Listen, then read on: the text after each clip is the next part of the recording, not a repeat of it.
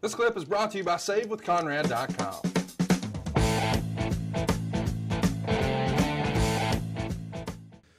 So Ron finishes up in 2004, and uh, the storyline is going to allow the whole John Bradshaw Layfield gimmick to jump off. Did Ron have any issue with uh, helping his old pal Bradshaw on the way out? Not at all. Not at all. I think Ron uh, would have and still would do anything for John Layfield. The APA lose a tag match on March 18th on SmackDown to Rikishi and Scotty 2 Hotty and Paul Heyman. Uh, SmackDown general manager, of course, uh, says the APA isn't fired, but Farouk was, and Bradshaw's heel turn starts. And of course, we eventually find out that's JBL. Um, Bradshaw never did a physical attack on Farouk. I guess maybe that's something that I don't know the guys weren't comfortable with, but I don't think that he ran into a, an agent role after this, unless I'm wrong. Did he? Did no, he, even- didn't because he didn't. He didn't want to. Uh, I don't know why, but Ron didn't want to be a producer. But he is constantly back on TV. He would show up and just do various appearances where something would happen. They pan the camera and we get a tight shot of Ron with a pause and then Damn.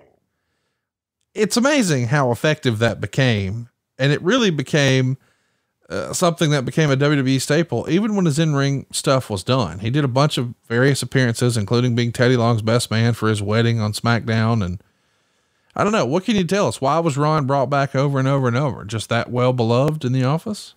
Yes, and there would be situations where it would make sense to to bring Ron back when you're explaining something, and the only punctuation you have for it is "damn," and it's like, oh God, that's you know, you, you come up and you're trying to put a button on something, and then and somebody says "damn," it's like that's it, call Ron, and uh, it worked, and it was a beloved character that'll go on forever. So uh, he goes in the Hall of Fame 2012. Obviously, well deserving of all the accolades he received there. Um, what are your favorite moments of Ron the man? You got to spend quite a bit of time with Ron over the years. There, there are a lot, and the weekend that John Layfield got married for the second time, and the last time, uh, my wife and I got to spend the entire weekend with Ron, and just it was in Key West. Thinking January or February, something like that, but it was hotter than hell. And we're sitting out at the bar at the there were two two hotels. There were two marriotts there. And we were at one but like everybody was there and stuff. And they told us there was another quieter uh, bar at the other hotel and i'm sitting there now i'm in my usual attire my shorts and flip-flops and my wife is in a swimsuit or whatever and ron is in black jeans, black cowboy boots, and a black skin tight shirt, He's hot as fuck. sweating his ass off. But you know what? If anybody could pull it off, he did. Of and we went and we sat we sat um, at the bar on the beach, on the quiet beach, and just we had a blast that, that whole weekend just uh, never stopped laughing just the, the entire time. And i think ron simmons probably gave the greatest uh, best man speech i'd ever heard had everybody in tears. And it was one of those where uh, look make no mistake about it layfield married up Oh, of big course. time, Everybody way out of his league.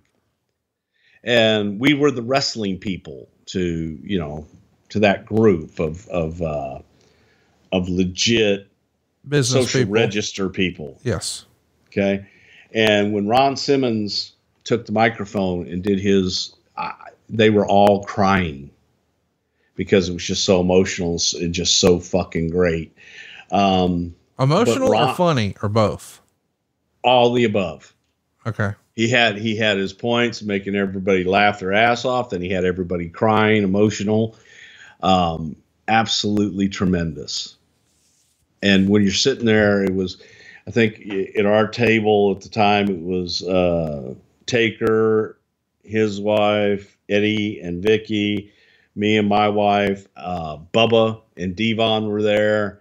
Um, we just had an eclectic group that was having a blast, and it, it was just so fun. But Ron's one of those guys, man, that that commands respect, as I said before, and just does such an amazing job in everything he does. Uh, fun moments with him. What's your favorite Farouk match? Wow. I, I tell you, you, this is going to sound crazy, but I don't really wasn't a match, but it was the debut and where he hurt Ahmed. Ahmed because it was it was frenetic. Yeah. And he made an impact. He came in and it was like, okay, I mean, intentional or not, that wasn't the intention that we wanted out of it from Ahmed getting hurt. But man, Ron came in, and some guys, you know, coming in for the first time are going to be a little tentative. Ron was like, I'm going out to get over. And he did. Hey, hey, it's Conrad Thompson. Thanks for checking out the podcast here on YouTube. Be sure to hit the subscribe button and the notifications bell so you get a notice anytime we upload some new content. And go save yourself some money right now. If you're in a 30 year loan or you have credit card debt, it's not a matter of if I can save you money, it's a matter of how much. Find out right now for free at SaveWithConrad.com.